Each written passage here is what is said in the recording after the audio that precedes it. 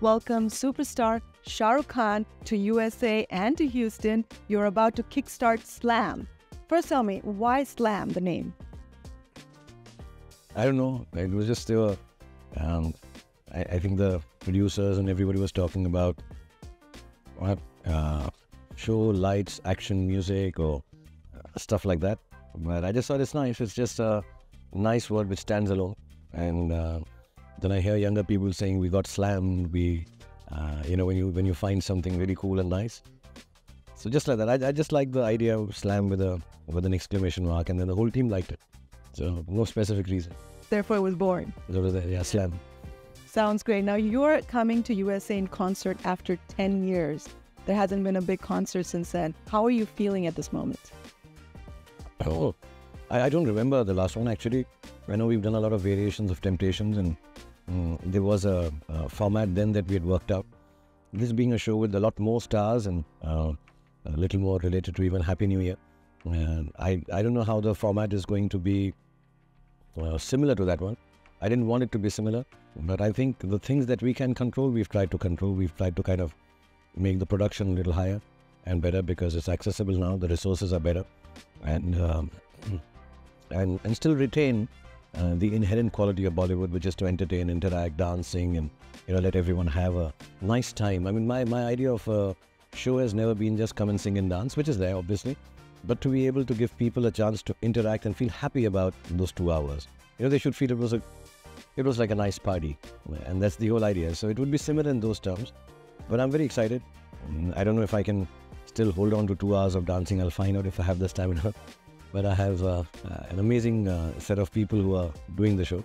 So I think a lot of energy, a lot of happiness, and hopefully people will like it as much as Temptations. Absolutely. And I believe this was your idea years ago when you were just starting Happy New Year? You know, actually, a lot of people keep saying do a show, and to do a show, you need to be together for a month, month and a half.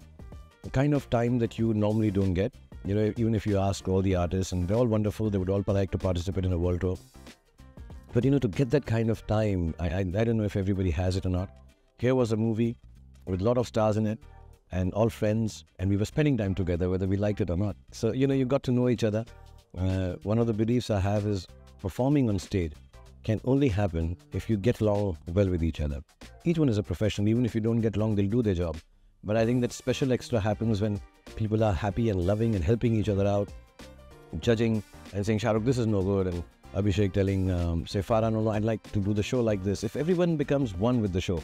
So we had that kind of team spirit. So when I started shooting the first time in Dubai, one realized in the evenings, post pack up, or during the shoot also, uh, that, you know, here is a set of people who are wanting to better each other, not just themselves. And uh, see, singing, dancing, and the show part, we all do. We're professional actors. We'll do all that. But that feeling that that makes the show extra, uh, started permeating very fast in the film shooting. The first four five days only. So I just started thinking, you know what? If you guys are able to take that time out, get a couple of weeks, so that we can go and you know, normally the world tour a longer, 18 shows or something. I said even if we get a weekend, let's try and do this, and then inshallah, post the film, we'll still like to be together, which we really do even now. And uh, and you will continue doing the slam tour all over the world. You play a dual role in this film. You're a producer and the actor in the film. And I think for the first time, there's such a big ensemble star cast. And I keep hearing about the camaraderie and your enigmatic uh, chemistry between everyone. How do you feel? Well, I'm not the producer. Of the company is Red Chillies. I, I just uh, happen to be the promoter of the company. So it's wrong actually to be, you know, putting me as the producer. I hardly know anything about production. So we have Kareem and Karuna and uh, Venki who handle the company and this part of the filmmaking. It's a difficult film to make. And I would like to say that at the onset. It's not a film that can be easily made. It's got two strange genres tied up together. It's a big film to make. And I'm glad that actually he's got this, got this opportunity to uh, do it. But even if I was just an actor, uh, somewhere down the line, being perhaps uh, one of the people who has done maximum number of years in films, you know, uh, compared to say even Boman sir or Abhishek or Deepika, Vivan and Sonu, uh, and even Farah for that matter. Uh, like we kind of started together. I think it becomes my duty that you know the senior most person kind of holds everyone together because when you have seven artists, when you have such a difficult film, when you have so much happening, and um, I, I think it becomes important that one person becomes like the family head and makes everyone feel nice and good. And I think that job uh, I do well. I've got three babies. Yes. So I can look after three babies. So I had to look after five in this one. I'm getting ready for two more, yeah. so you think fatherhood helped you? Most certainly it does. I, I think of Abhishek like my uh, child, Vivan, who I just got to know. Uh, Sonu, who's very sweet. Uh, sir is this, uh, you know, dignified presence who's uh, always there to help you out and encourage you. You know, you sometimes need this voice of reason and encouragement somewhere in the back in his bass voice. And uh, of course, Deepika. And Farah also, you know, Farah's also like a kid on set sometimes, so you have to control her. So yeah, it does help. So speaking of Deepika, she's gorgeous, of course, and you and her share a fantastic on-screen chemistry. What do you think is that magical quotient? It's just that I'm taller than her, and that kind of makes it work. Uh, she's wonderful. She's a fantastic artist, and you know, uh, even when we started, I don't think you know people keep saying that Farah launched her, and I was the hero who launched her. Um, I do remember the first time when we had shot with her. Uh, Mr. Bachchan was there near the sets, and I went and showed her, showed him some of the stuff we shot with in the film actually. And the first thing he said was, you know, this lady is going to be a big star. Uh, and she already was. It's not, she just needed a platform. So we happened to be there. The film turned out well. And even when the film was releasing, I said, I think 60% of the uh, reason for the success of Om Shanti is that we had a presence of this uh, new actor, you know, who's got an amazing persona. And over the years, uh, without sounding patronizing, I think she's really honed her craft and she's fantastic at what she does. She's an asset to every film that she participates in. So I think we are fortunate, and she's a friend.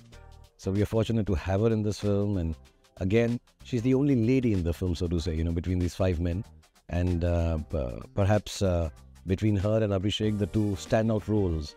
And you need people who do justice to that. So you have perhaps two of the finest actors for that role, perhaps otherwise also, you know, to do justice to, uh, because the film works because of the beliefs of these two uh, in, in different uh, ways. Uh, when you see the film, you'll understand. So she does really form the peg of the film. She forms the spine. She forms the moral code of the film, so to say.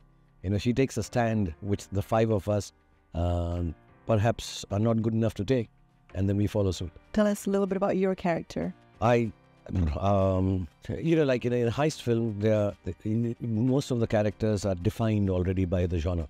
So you have a safe cracker, which is Boman, uh, Fat Fingers, Magic Fingers, and um, you have uh, a guy who's fantastic with a computer. Uh, that's Vivan, the nerd, the hacky hacker. Uh, then you always have uh, wrong word to say maybe, but you know the the sensual, attractive interest in the film. Uh, uh, that's Deepika. Uh, then you have a mastermind, and uh, I'm the one who brings the team uh, together. Uh, Abhishek's character is a new kind of a uh, aspect in the given classical heist uh, mold. So that's new. That's very different. That's Farah's invention for a heist film, and uh, and of course uh, Sonu plays the uh, bomb expert. So I, I play the person who kind of gets them all together. But we're not thieves. We're not professional thieves. There's a reason behind it. And the line for the film is no motivation, no crime. And how each one of us has an individual motivation. And then finally, it becomes bigger than the individual motivation. And we kind of turn around as people. You know, we don't just uh, uh, be the callous uh, criminals or wannabe criminals. We turn around. And um, I, I think that turnaround comes because of the circumstance and things that happen in the film. And um, I'm, I'm the one who sort of brings all these experts together to do a job. So, what would you say perhaps is your favorite part of the film? I, I think there's a sequence in the film where we are forced to learn. The concept of the film is that we have to participate in a dance championship to be able to have access to where we want to go and steal from. And we are the world's worst dancers. uh, so it's ironic and funny that the world's worst dancers uh, have to be in a dance championship.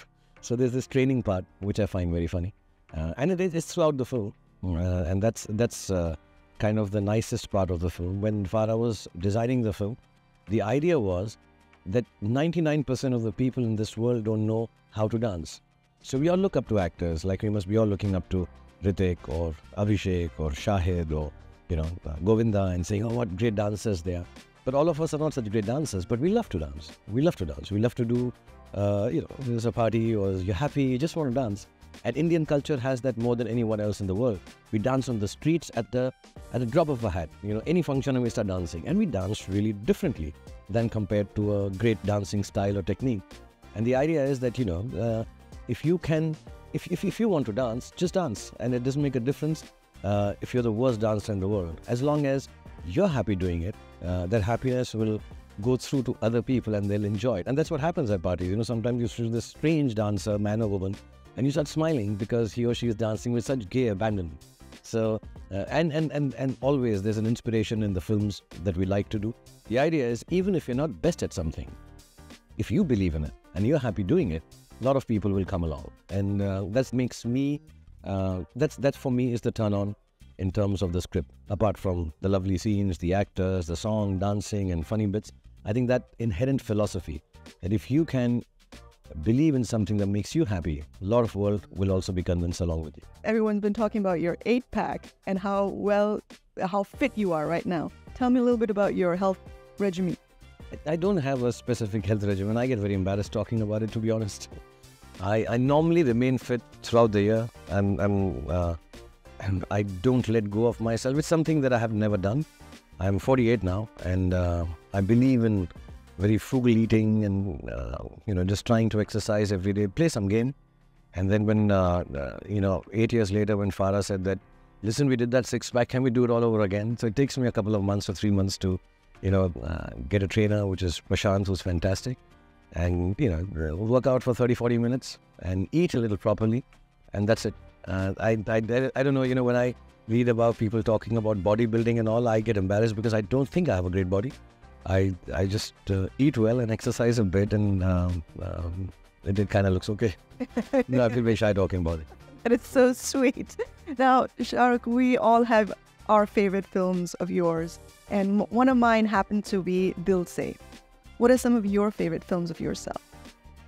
My favorite film is always the next one. Um, I don't stick on to the ones that I've done. They were nice. The process was beautiful. I'll always cherish them. But the next one is the, the favorite. So right now, Happy New Year is the favorite. Uh, but I've enjoyed doing Dilwale. I thought Kuch Kuch Hota Hai was nice. Dil Se was fantastic. Chak De was interesting. Devdas was very different for me to do. Uh, I think uh, I didn't think it'll turn out to be the way it was because I was playing this old guy. I'd never done it. Um, I think Om Shanti Om. My name is Khan. I thought was very special. Uh, I really liked myself in the film, which is very seldom that I like myself. And um, yeah, Don because it's very sexy. I find that very interesting. Yeah, so I like them. I'm Kabhi Haan, Kabhi Naa. There are few I must be forgetting. But uh, those are favorites because apart from the process, I kind of enjoyed the the result also and uh, kind of thing. I don't know if I can do it all over again or not. And some of them just got done. You know, you, you don't realize while you're making a film, it takes a life of its own, the character, the role, the film itself. And there's so many people helping you make that film special that at that point you don't realize it. At that point, you're just shooting those eight hours and thinking, okay, I, I think I got the scene right, I got the line right. It's very microscopic. But when it becomes bigger and you see it, sometimes it surprises you. You yourself surprise yourself. And not because you've done some stunning job, just it turned out to be very different from who you are. Which was perhaps the most challenging film for you as an actor?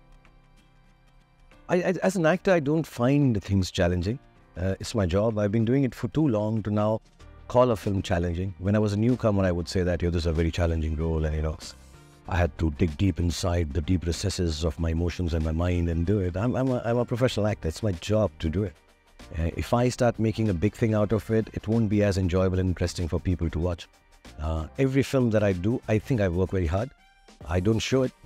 I, I think it's boring for people to tell you how the recipe of a good dish that you've enjoyed is, you know, to start describing it. You should just enjoy the food and say, you know, it was very nice. Can you cook it for us again? So, yeah, I'll try my best to cook it again for you. I'd like to keep it simple.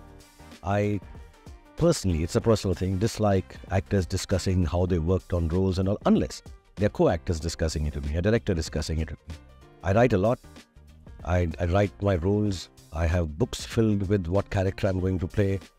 I make notes on my script. I make uh, stand in front of mirror and practice. But if I start explaining the process of my acting and the challenges I've gone through to do it, it's extremely boring. Uh, like if I start telling myself, I get bored of it. So I don't like to discuss that. But uh, uh, every film that I do, I like to believe I have left a part of me in it. Uh, there is a little part of me in it, whether it's my soul, my heart, my mind, and then I wait for the day when all the parts will get over. And then I'll wake up one morning, I have no more parts to give. and then I'll just, I guess, just sit back and start watching all my films. I haven't seen my films. well, on a lighter note, in conclusion, I asked Farah what was a one secret she could tell about you that nobody knows. And she said the fact that you are never without your shoes. She thinks you sleep with your shoes on. She would know. She slept with me a few times. So. so, can you tell us a secret about yourself that you think no one else knows? It's, it's not a secret. I don't wear slippers and I don't like being uh, barefoot. I, I find it awkward. So, as soon as I wake up, once my feet are off the bed, they're in shoes and they get only taken off once my shoes, my feet are off the floor. Uh, I don't know. I, I even in films when they tell me to do scenes without my shoes, I find it awkward. Uh, if I'll wear socks or I'll wear something, I, I get very awkward uh, baring my feet. Baring my soul is easier than baring my feet, actually. So I, uh, yes, I'm conscious of that. Any other secret? But if I tell you my secrets, then it won't be a secret. Um, what is not known about me? I don't use shampoo. I just wash my hair with water. Uh, that's it. I, I sleep very late. I, I don't know. Uh, uh, but yeah, I do I do wear my shoes most of the time. well, it was a pleasure speaking to you as always, and have a fantastic show ahead, and even a better movie. And we look forward to seeing you again very soon. Thank you very much. And I, uh, because I've come after such a long time to America, let me honestly tell you, I miss you. I'm doing interviews with you, so thank you very much. Oh, thank you, sweet. Bless you. Thank you.